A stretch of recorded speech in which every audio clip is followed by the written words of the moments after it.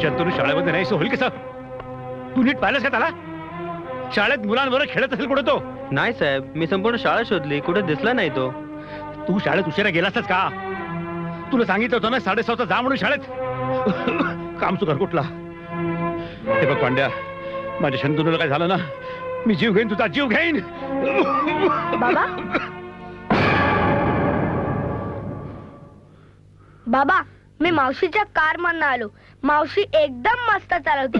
एकदम फास्ट चालवते. अरे बाबा तुमचा खोकला कसा आहे? पाठ सोडत नाही माझी. अरे मावशी तू उभी काय बस ना. बसते हा? बाबा मी खेळायला जाऊ का? माझे मित्र माझी वाट बघतायत. जा जा जा जा. अ, मी पण निघते हा? अ, येते मी. बोलावलं होतं कोणी? शंतनूला शाळेतून घरी सोडण्याचा शहाणपणा करायला कोणी सांगितलं होतं? पुन्हा माझ्या मुलाला भेटण्याचा प्रयत्न करू नकोस. भेटणारच मी. शंतनू माझा मुलगा आहे. जन्म दिला मी त्याला. शंतनू तुझा मुलगा नाही आहे. केवळ मुलाला जन्म दिला म्हणून कुठली स्त्री आई होऊ शकत नाही. त्याला जन्म दिला म्हणून त्याच्यावर तू हक्क नाही गाजू शकत. तो तुझा हक्क आणि अधिकार तू केव्हाच गमन बसलीस कळलं? ओरडून बोललं म्हणजे सत्य होत नाही रमेश. माझा हक्क आणि माझा अधिकार मी कधीही गमावलेला नाहीये. मी शंतनूची आई आहे आणि हेच सत्य आहे. सत्याची फार चाड आहे तुला म्हणून शंतनूला जन्म दिल्याबरोबर एखाद्या अप्सरासारखी त्याला तू सोडून निघून गेली होतीस. त्यावेळेस तुला तुझ्या चिरंतन सत्याची जाणीव झाली नव्हती की शंतनू तुझा मुलगा आहे म्हणून? अगं तू तर गर्भपात करायला निघाली होतीस. शंतनूला जन्माला घालण्याआधीच त्याची तू हत्या करायला निघाली होतीस. अगं तुला तर माझा तिरस्कार वाटत होतास पण पोटात वाढणाऱ्या शंतनूचा सुद्धा तू तिरस्कार करत होतीस. आठवतं ना आठवतंय?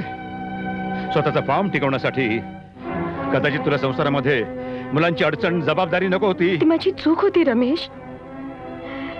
मला मान्य आहे ती माझी चूक होती. आधुनिकतेच्या नावाखाली मी भलत्याच विचारांच्या आहारी गेले होते. पण त्यामुळे कुटुंब उद्ध्वस्त झालं याची जाणीव आहे तुला? हं? अगं तुझ्या या अशा उथळ वागण्यामुळे शंतनू सारखा बाळ जीव स्वतःच्या आईच्या सहवासाला तिच्या प्रेमाला मुकला याची जाणीव आहे तुला? आता मारे मोठी टेचामध्ये सांगतेस की मी शंतनूची आई आहे म्हणून. अगं पण जेव्हा तो जन्माला आला हॉस्पिटलमध्ये त्याने मुकीने रडून रडून टाव पडला तेव्हा त्याला तू दूध न पासता निघून गेली होतीस. आठवतंय? त्यामुळे तुझं सत्य कुठे गेलं होतं? अगं पहिल्यापासून तुला मुलाची घृणा आहे घृणा. मुलाच्या रडण्यामुळे रात्रीची तुझी झोपपड होते. मुलाचे कपडे लंगोट बदलणं यामुळे तुला त्याची शिसारी वाटत होती. हं? मुलाला जन्माला घालणं म्हणजे तुला पाप वाटतं. आई होणे आयुष्यात तुझ्या सर्वात मोठी दुःखद घटना होती. रमेश! आणि तू आता सांगतेस तू शंतनूला जन्म दिला म्हणून? गैरसमज होता गैरसमज. खरंच तुझा गैरसमज आहे. शंतनूला तर प्रत्येक क्षणाक्षणाला त्याच्या आईची गरज होती. पण त्यावेळेस तू आलीस? नाही कधीच नाही आलीस. रात्र रात्र रडून तू जागायचा त्यावेळेस.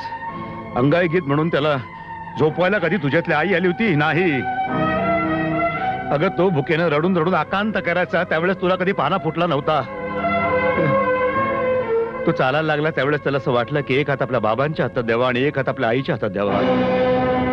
दोघांचे हात हातात घेऊन आपण झोके घ्यावेत. पण त्या त्या बिचाऱ्याची आई नव्हती. त्याची आई त्याला सोडून निघून गेली होती. आणि जाताना सांगून गेली होती त्याला जन्म दिला आणि म्हणाली की बाळानं जर विचारलं की सांग त्याला की त्याची आई देवाघरी निघून गेली. त्याला सोडून देवाघरी गेली. नाही तू त्याची आई नाहीयेस तू त्याची आई नाहीयेस. तुझ्यात काहीच बदल नाहीये. तू तीच आहेस पूर्वीची जिद्दी हट्टी. दुसऱ्याचं कधीही नाही ऐकणारी स्वतःच सगळं खरं करणारी. हा तुझा स्वभाव मला आधी कळला असता ना तर कदाचित मी सुद्धा माझ्या आई वडिलांना मुकलो नसतो. बास रमेश बास कर आता. खूप बोललास मला. आयुष्यातला प्रत्येक दिवस माणसात बदल घडवत असतो. प्रत्येक चूक माणसाला नव्याने काहीतरी शिकवत असते. तसा माझ्यातही खूप बदल झालाय. माझ्या शंतनूची शपथ घेऊन सांगते मी तुला. शराब खबरदार माझ्या मुलाची शपथ घेतलीस तर.